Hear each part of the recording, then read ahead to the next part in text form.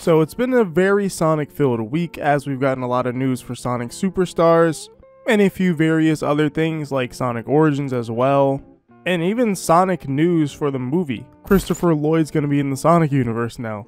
If you don't know who that is, that's Doc Brown from Back to the Future. But there's so much new crazy news that has come out due to interviews with Takashi Iizuka, who is the head of Sonic Team. So, we're gonna get right into this news. Hey, hold up a minute. 75% of you guys are not subscribed to the channel, so why don't you consider subscribing if you've been enjoying the content? You may be like, hey, this might be too early in the video. But 43,000 of you guys keep coming back to these videos, so I'm talking to you. Why don't you hit the subscribe button? Thanks guys. So this information comes from Shacknews, and they're obviously reliable. They had featured Sonic Frontiers content before the game was out through Sega, of course, so they are a reliable source but the news that comes from them reads like this. After the release of Sonic Superstars, the studio will continue to develop the modern and classic formulas separately, giving each of these sub-series their own projects. And to me, overall, this is a good thing. I like having both the classic and the modern 3D games, keeping them separate is exactly what they need to focus on because they're never going to get rid of the classic Sonic style because it's so iconic.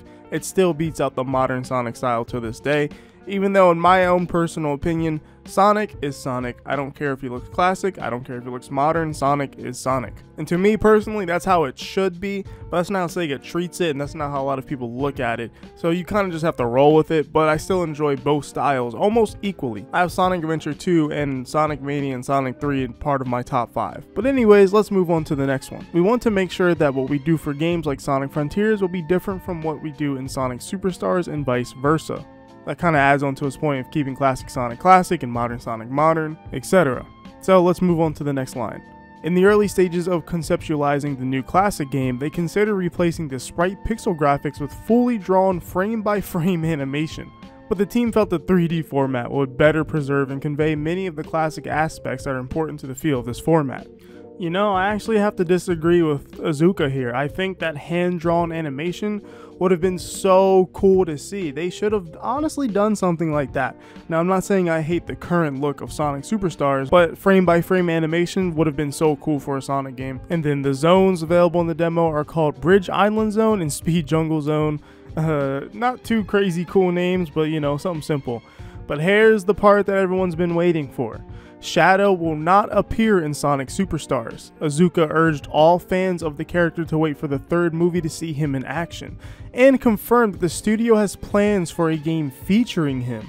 And this article specifies without specifying whether it's about an appearance in a new installment or a full spin-off, but still, regardless, they kind of highlighted Shadow as having a prominent role in a new Sonic game again. Yeah, he had his DLC in Forces, but I still wouldn't say that was prominent and he was kind of more of so just a Sonic skin swap again. Next time we get Shadow playable, he needs to be more of kind of Sonic 06 Shadow, where he had more unique features about him that made him different from Sonic. But I feel like the reason they're actually saying this or doing this for Shadow is because he's going to have a prominent role in the upcoming Sonic Hedgehog 3 movie, so he's going to be a big deal again. People are going to be talking about Shadow quite a lot.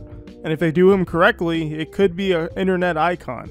And because of that, I can see them probably wanting to get ahead of the curve and capitalize by putting Shadow on marketing and put him as a prominent figure in a Sonic game again.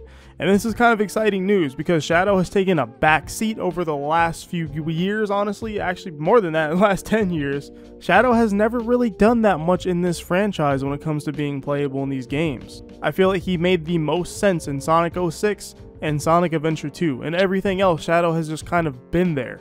Well, except Heroes, I'll count Heroes as well. But I think this is overall a pretty big deal. So moving on from that, it says right now the team is focusing on presenting a good game and all of its content at release in a presentable state.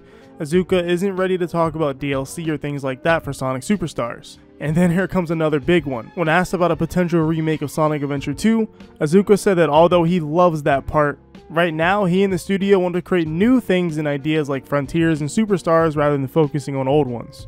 And honestly, that's respectable. We'll probably never get those Sonic Adventure remakes from being honest. But as long as they just keep making good games, I won't mind. Sonic Adventure 2 is not going anywhere, and I don't want them to make it worse. So I think that it's fine.